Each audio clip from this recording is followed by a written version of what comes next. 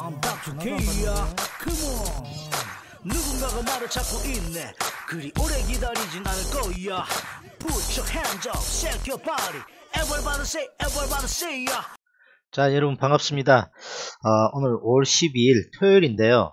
어, 종목 분석 방송을 올렸는데 어, 우리 또 구독자 기천님께서 네이처셀 아, 종목 분석 좀 해달라는 요청이 있어서 어, 분석을 좀 해보도록 하겠습니다.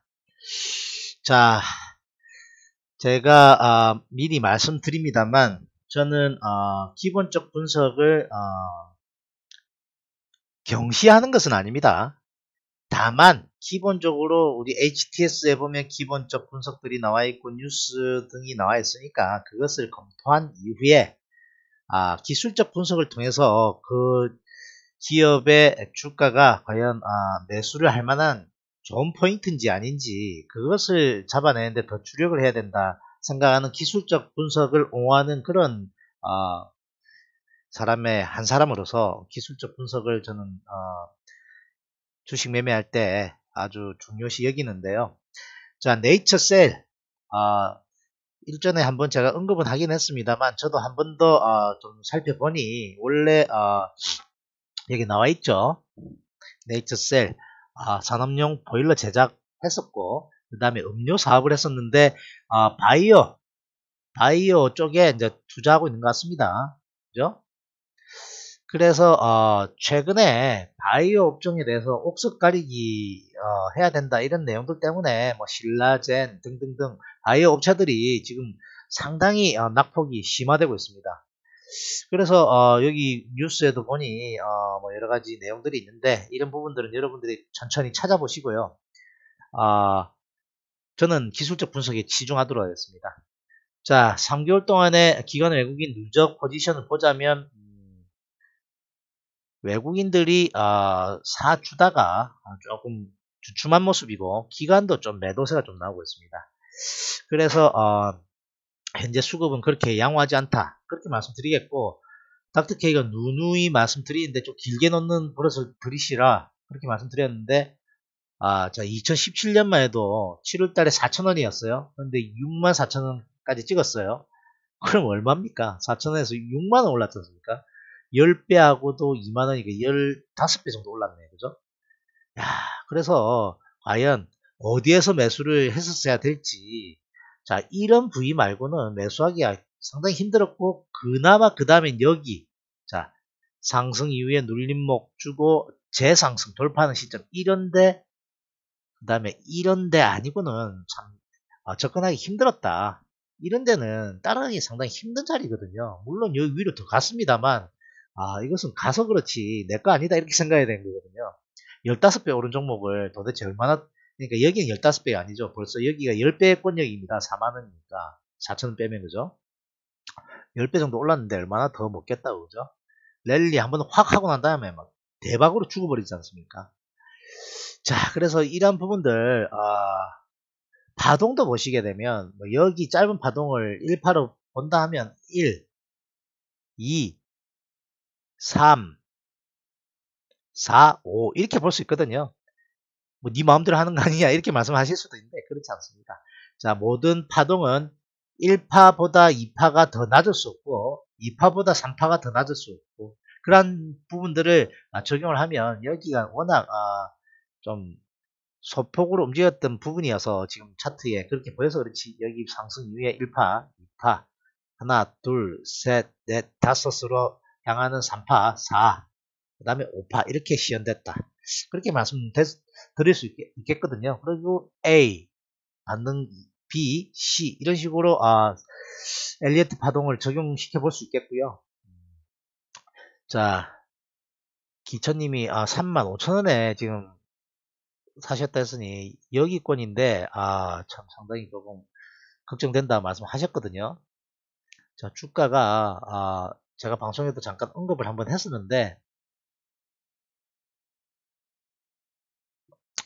자, 상당히 좀 어, 위험한 어, 상황까지 지금 직면을 했는데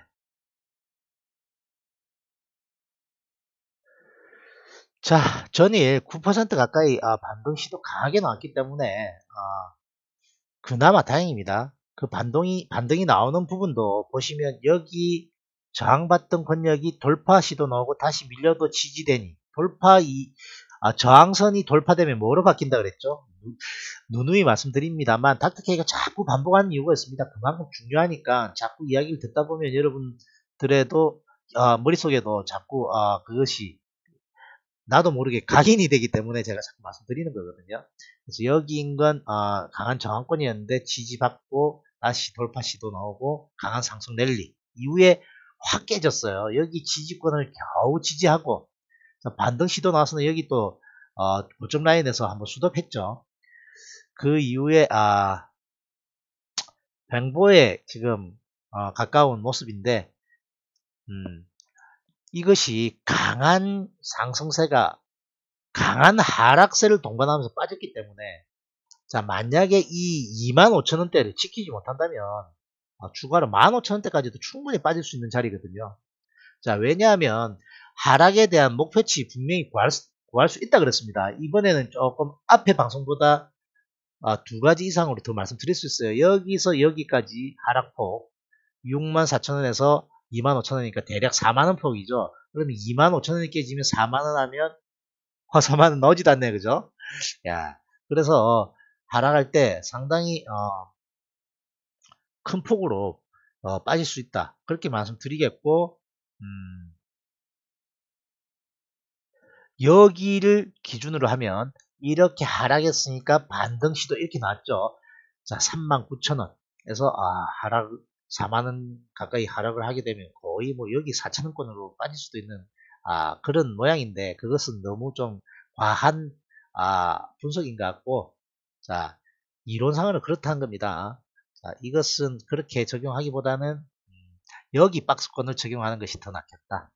그 말씀은 자 여기 여기서 이만큼의 만 원의 어, 밴드에서 움직인 부분에서 만약에 밑으로 쳐지면 15,000원권. 그러니까 여기 목표치 나오죠.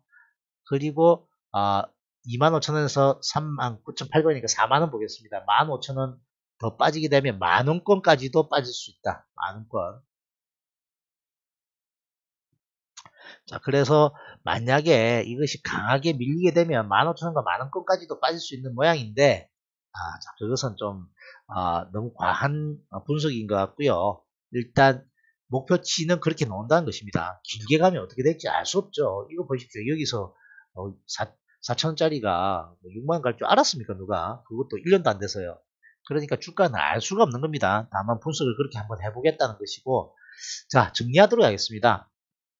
자 최근에 기관 외국인들의 매도세가 자꾸 들어오고 있으니까 아, 이것이 빨리 반등 시도 좀 강하게 나와서 아, 매수가인 35,000원권까지 35,000원이면 5,000원 더 올라야 되지 않습니까? 거의 한 17% 이상 더 올라야 되는데 아, 다이렉트로 그렇게 갈지는 아, 좀 지켜봐야 되겠고 자 여기 20일에 일단 저항을 있지 않습니까? 그래서 아, 전에 상당폭 어, 많이 상승하다가 아, 윗꼬리도 좀 세게 달렸죠. 그래서 어, 월요일 날 28,000원은 깨지 않고 아, 조정을 받아도 28,000 깨지 않아야 되는 게 가장 컵스무고 그 다음에 반등 시도 나올 때 아, 외국인 기관의 매수세가 좀 잡혀줘야 됩니다. 이전에 한 6, 7거래일 전처럼 외국계 매수세가 좀 잡혀줘야 되거든요. 그런데 최근에 아, 여기 인근에서 아, 기관 외국인의 동반 매도세가 좀 나와서 주가가 아, 좀 힘없는 모습인데 일단 단기적으로 25,000원권은 지지할 가능성이 좀 높아 보인다. 그리고 코스닥의 어, 지금 흐름도 그렇게 나쁘진 않으니까요. 자, 이것이 약한 아, 조정 이후에 강하게 상승 시도 놓은다면 자, 네이처셀도 아, 3만 5천원권대 바로 가기는 힘들어 보일지 모르겠지만 자, 스무스한 조정 이후에 강한 상승세 놓은다면 아, 매수가 인근까지도 한번 노려볼 수 있겠다.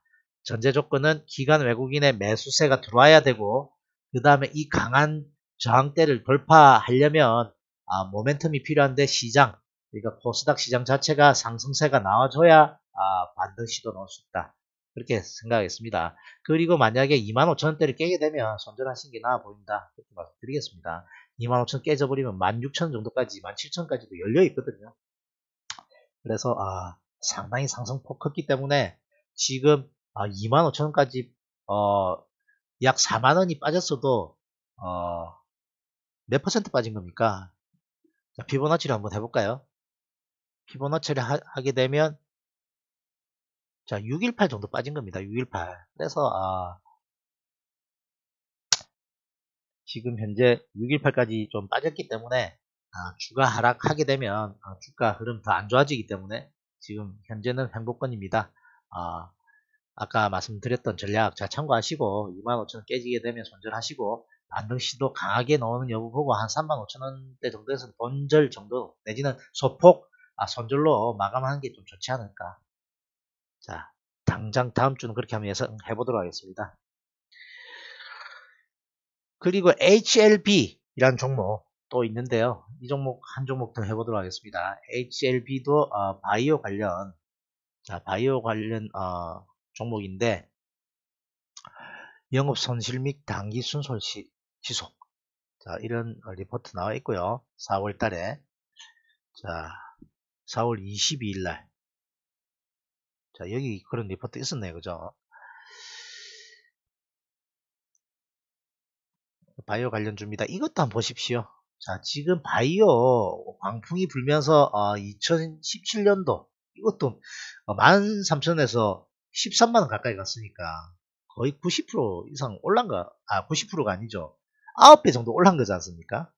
그래서 아, 상당히 상승 크게 일어나고 파동도 아까 말씀드렸다시피 어, 여긴 제외한다 치더라도 1, 2, 3, 4, 5 이런 식으로도 어, 말씀드릴 수 있겠고 어, 슈팅이 걸린 거죠. 그죠? 슈팅이 걸리기 때문에 파동상 슈팅이 걸리기 때문에 이것은 여기서 장대 연봉이 떨어졌을 때 이제 상승 추세 끝났다. 이렇게 생각하시면 아, 가장 아, 정확한 표현이다 할 수 있겠고. 지금 현재 다행히도 어, 외국계 매수가 그래도 조금 있네요. 그죠? 최근에 기관은 매도세가 좀 있고. 자, 이 보이시죠? 외국계 좀 잡아 나가고 있고 기관 좀 파는 그런 모, 양이고. 자, 그래서 이 종목은 외국계 매수에 의해서 같이 좀 상승한 종목인데 이제 어, 매도 시그널은 나왔다. 그렇게 말씀드리겠고 추후 주가는 9만원대 상당히 중요하다 하겠습니다. 9만원대 만약에 깨고 내려간다면 보유하고 계신 분이라면 어, 반드시 차익 실현하셔야 되겠고요. 지금 여기 인근 9만원대가 아, 횡보하던 권역에서 어, 쌍바닥 형성하면서 다시 한번 더 랠리했기 때문에 한 번 정도는 수도해줬는데 만약에 강하게 이런 엉덩이 나오면서 떨어지면 더 밑으로 도 쳐질 수 있는 8만원 8만원까지도 쳐질 수 있는 모양이기 때문에 신규 매수는 절대 하시면 안 된다. 그렇게 말씀드리겠습니다. 자 이거 지금 시그널 놓은 겁니다. 여기서 한, 왜냐하면 강한 상승세가 나온 종목은 한 번에 잘 죽지는 않습니다. 한 번 이렇게 하락하더라도 반등 시도 넣고 여기서 다시 죽을 때가 정말 큰 아, 파동이 나오는 것이거든요. ABC 아까 말씀드렸던 엘리어트 파동의 ABC처럼 그런 파동이 나올 거기 때문에 어, 차액 실현 아직까지 안 하고 계신 분이라면 상승 시도 넣고 밀릴 때 이런 윗골이 나올 때 반드시 차익 실현하시라 그렇게 말씀드리겠고 신규 매수는 절대 접근하지 마시라 그렇게 말씀드리겠고 9만원 깨게 되면 어, 상당히 밑으로 더 열려있다. 8만원대까지도 열려있다. 그렇게 말씀드리도록 하겠습니다. 자 오늘 어, 한 가지 더 말씀드리고 싶은 게 있는데요. 여러분들 최근에 어, 닥터케이 방송 많이 좀 관심 가져주시고 어, 구독자분들도 많이 늘고 계신데 자 앞전 방송의 주식 기초 강의에 어, 나와 있는 부분인데요. 이것만이라도 꼭 어, 지키자 이런 부분 한 번 더 간단하게 말씀드리면서 방송 마치려고 하는데요. 자, 주식 투자할 때 이것만이라도 지키면 큰 손실이 없습니다. 자, 수익은 뭐 조금 조금 차근차근 그냥 조금씩 아, 쌓아간다 하더라도 손실은 아니지 않습니까? 그러나 이것을 어기게 되면 손실이 크게 날 가능성이 높거든요. 한번 같이 한번 체크해 볼까요? 자, 첫 번째, 우상향하는 종목을 매수해야 됩니다. 닥터케이가 늘 말씀드리죠. 우상향, 우상향 늘 말씀드리는데 자, 우상향이라면 이렇게 오른쪽으로 올라가는 것을 우상향이라 하겠죠. 자, 이것이 갑자기 안 나오는데요. 아, 여기 있죠. 예. 그래서 닥터케이가 늘 말씀드리는 게 우하향하는 거 말고요. 이렇게 우상향하는 종목을 꼭 매수하자. 자, 그리고 21선과 근접한 아, 가격에서 매수를 하자. 21선이 이런 식으로 아, 가거든요, 보통. 자, 요거 조금 정확하지 않으니까 좀더 어, 정확하게 자, 이런 식으로 갑니다. 이런 식으로. 자, 그리고 60일선은 뭐 여기 밑으로 이런, 이런, 이런 식으로 가거든요. 5일선 여기 위에서 왔다 갔다 하고 있고요. 자, 이거 한번 적어볼까요? 21선. 그리고 이건 61선입니다. 자, 그래도 추, 아, 그래서 추세는, 자, 정배열일 때, 여기 밑에 120일, 240일 이런 식으로 이루어지겠죠. 이것이 정배열이라는 거지 않습니까? 그죠? 그래서 주식은 정배열일 때 하시는 게 좋아요. 그리고 우량한 종목. 여기 가장 전제 조건은 우량한 종목이라는 게 전제 조건이겠죠. 자, 우량한 종목이 우상향한 종목을 매수하는데 이렇게 위에 꼭다리에서 사면 안 된다는 거죠. 자, 21선과 근접한 이런 가격들, 이런 가격들에서 사셔야 아, 수익이 날 가능성이 높습니다. 왜냐하면 이렇게 상승 이후에 눌림목을 줬다는 거거든요. 21선의 정배열인 아, 우상향 종목의 21선 인근이라는 것은 이렇게 상승하고 난 이후에 조금 눌림목을 줬기 때문에 21선 인근에 오는 거거든요. 차트 닥터케이가 오늘의 주식 오늘의 주식 시황 그리고 주식 기초 강의 이런 데서 많이 말씀드렸기 때문에 자 닥터케이가 설명하는 부분이 아 이 부분이구나 이렇게 생각하시면 돼요. 그래서 이러한 부분에서 목표치까지 아, 목표치를 선정하고 끌고 가는 그런 매매 기법을 사용하셔야 된다는 거죠. 자, 이 정도 먹겠다. 목표치는 여기서 자, 이만큼의 폭을 기본 존재로 한다. 이렇게 N자 목표치. 목표치 선정은 제가 좀 방송에서 많이, 말씀 많이 드렸고, 아, 잘 이해가 안 되시면 이러한 내용도 전부 다 주식 기초 강의에 다 나와 있으니까요. 하나하나 한번 찾아서 챙겨 보시면 되겠습니다. 그리고 손절선을 반드시 설정하셔야 됩니다. 자, 빠르게는 21선 깨면 손절하겠다는 마인드 내지는 여기를 깨는, 여기를 깨는, 아, 음봉이 나타나면 손절하겠다는 그 라인을 반드시 설정하고 매매에 임하셔야 된다. 그렇게 말씀드리겠습니다. 그리고 매수할 때, 자, 20일과 근접한 가격일 때, 어느, 어느 음, 음봉, 음봉에서 산다? 아니고, 자, 양봉이 설 때 산다. 자, 뭐라고요? 음봉 아니고 양봉 설 때 사는 겁니다. 자, 어떤 분들은 음봉일 때 산다. 이런 분도 있는데, 이치적으로 생각해 볼 때 양봉이란 것은, 아, 시초가보다 종가가 고가로 끝난 것이니까 매수 세력이 이겼다는 것이거든요. 그러면 주가 상승할 가능성이 더 높은데 음봉이란 것은 시가보다 종가가 더 밑이라는 것이니까 빠져, 빠져서 끝났다는 것인데 여기서 매수하겠다는 것은 아, 정석은 아니라고 저는 생각합니다. 그래서 20일과 근접한 가격 정배율일 때 아, 양봉 서는 거 보고 매수하셔라. 그리고 목표치와 손절가를 반드시 설정하고 아, 진입을 하셔라. 그리고 마지막으로 기간 외국인의 매수세가 잡히는 종목만 접근하셔도 여러분들 성공할 확률, 투자에서 성공할 확률 아주 매우 높다. 이렇게 간략하게 제가 정리를 하겠습니다. 자, 아주 간단하죠. 이거 뭘 못해. 이렇게 생각하시겠죠. 그러나 실전에 들어가시면 잘 실천이 안 되는 경우가 많습니다. 가장 잘 안 되는 부분 뭘, 뭐일 것 같습니까? 네, 그렇습니다. 이 손절가 안 지키는 거 가장 아, 잘 안 지켜지고요. 20일과 근접한 가격 이거 잘 안 지키십니다. 이렇게 꼭대기에서 자꾸 사고 싶어져요. 따라가는 거. 그걸 추격 매수라 그랬죠. 그래서 위상을 반드시 지키겠다는 강한 의지가 필요한 겁니다. 주식이 심리가 진짜 중요하거든요. 여러분들. 매매 좀 해보신 분은 아실 거예요. 뻔히 알고 있는데 손이 안 나갑니다. 내 심리를 내가 어, 지배를 못하는 거거든요. 저도 이 부분이 가장 어려운 부분인데 이론적으로 어느 정도 공부를 좀 하신 분들은 다 어느 정도 아세요. 이거 모르는 분 누가 있겠습니까? 그런데 이것도 모르신다면 오늘 알아두십시오. 딱 적어 놓으시고 알아 놓으시고 자 이것을 반드시 지키겠다는 강한 의지를 자꾸 키우셔라. 그래서 닥터 K가 명상을 통한 어, 무의식 강화 어, 이런 어, 방송도 한 적이 있고 하니까 여러분들 심리 어, 단련 훈련도 반드시 필요하다. 그렇게 말씀드리겠습니다. 자, 오늘 종목 분석 방송 어, 두 종목 네이처셀 그리고 어, HLB 간략하게, 간략하게 방송해 봤고요. 여러분들 상당히 제가 이런 방송을 할 때 부담이 되는 부분이 있습니다. 그리고 뭐 어, 안티를 만들 수도 있겠죠. 이러한 종목도 가지고 계신 분들 어, 종목에 대한 분석을 어, 좋게 안 하고 만약에 어, 좀안 좋은 쪽을 분석을 하게 되면 싫으실 때도 있는데 저도 상당히 부담됩니다. 맞아도 어, 맞으면 제가 번전인데 틀리게 되면 아, 좀 그렇지 않습니까? 그런데 제가 조금이라도 도움 되시라고 제가 올려드리는 것이니까 다시 한 번 더 방송 아, 나중에 한번 돌려보시고요. 자, 닥터케이가 제시했던 그러한 지지 저항권들 한번 잘 챙겨보시고 그러한 어, 기법들 잘 맞는다 싶으시면 여러분들 관심 종목군에도 한번 적용해 보시기 바랍니다. 자, 그럼 전 또 다음 시간에 찾아뵙도록 하겠습니다. 바이바이. On 누군가가 말을 찾고 있네 그리 오래 기다리진 않을 거야 Put your hands up, shake your body Everybody say, everybody say ya